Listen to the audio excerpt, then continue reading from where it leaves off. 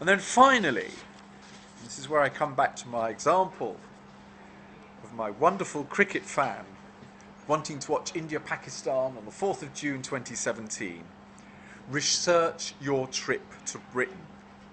So, applicants, think about which cricket match in the coming season you want to watch when India are playing in England. And just to remind you all, they will start with a T20 on the 3rd of July at Old Trafford, and they're in England, England and Wales to be precise, for two months. They play three, OT, uh, three T20s, three ODIs, and five Test matches, the last one of which starts on the 7th of September. In the beginning of press meeting, give some figures. Uh, is it India-wide or Kolkata-wise? It's India wide. Uh, do you have any details about Kolkata or Eastern Region-wide? Um, it's a very good question, but we don't break down the um, figures for India wide. I mean, you're right. There are very different markets across India.